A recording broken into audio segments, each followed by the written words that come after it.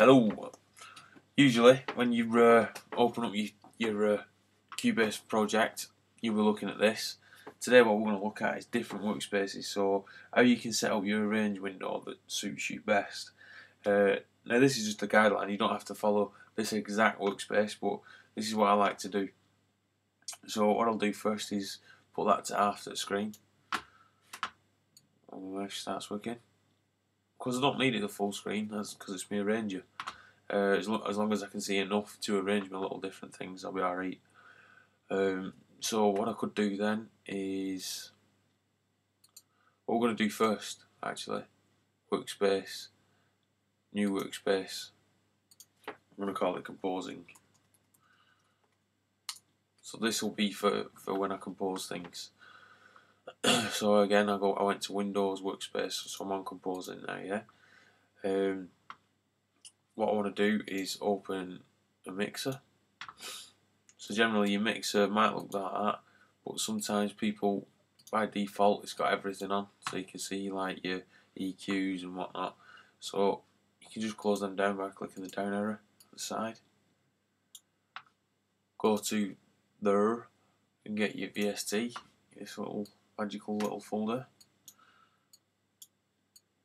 So anytime we need need a VST instrument now, we don't have to be pressing F11 or going up to devices, we just go boosh, click there, boosh, it's there. Okay. Um, last but not least, a media bay. So delete that. Put our media bay down there. So it fits nicely. Bring that up there all about straightness. Okay, so you could, yeah. So when you search stuff, you can search for anything. Say you wanted different drums, go on drums.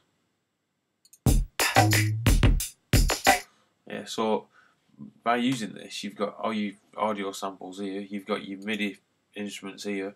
you've got your mixer for when you have to mix. So I've dropped that's dropped it in. So I could go alright actually. Let's just play that.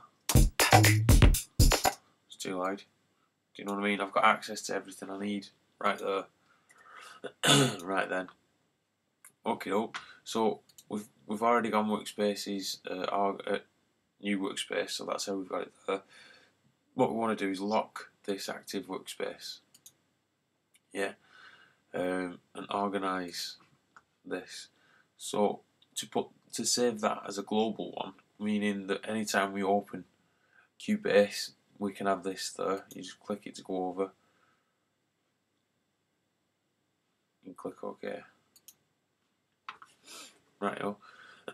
so what might happen is you might move stuff because you might be looking for something. You might have something on your desktop. You might be looking, all right, okay, there's cube, uh, there's reason, right, yo. So what you need to do then, you can just go and click on it again. Bang, puts it all back in order. So you can see the advantages of working with a workspace like this. Uh, have a create one, see how you feel. Uh, just a quick one, you might, if you was doing uh, one for just mixing,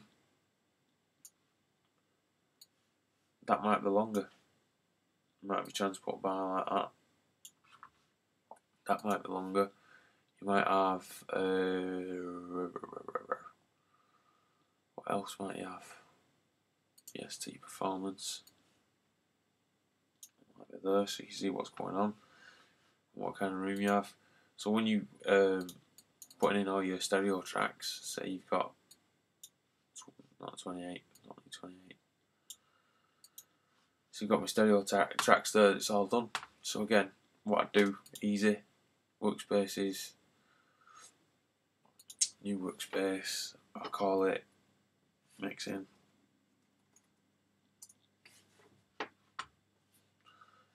Uh, again, you've just got to lock your workspaces. Lock active workspace. So if I want to go back to the other one, the composing, it brings all that back up. Back to mixing. So, yeah, have a go. It's just about it's just little things you can do just to organise your work. You know what I mean? Um, So yeah, have a go. Thanks for listening.